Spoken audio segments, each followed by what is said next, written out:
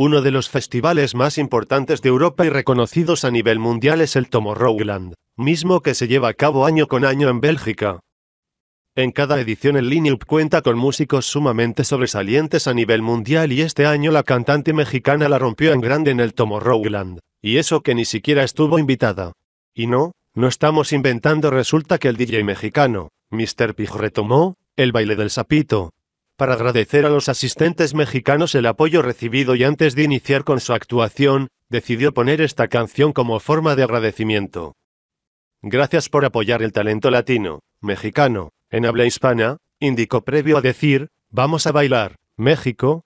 Fueron las palabras de Mr. Pig a los belgas y mexicanos que asistieron a este festival. Cabe señalar que dicho tema fue muy popular en 2002.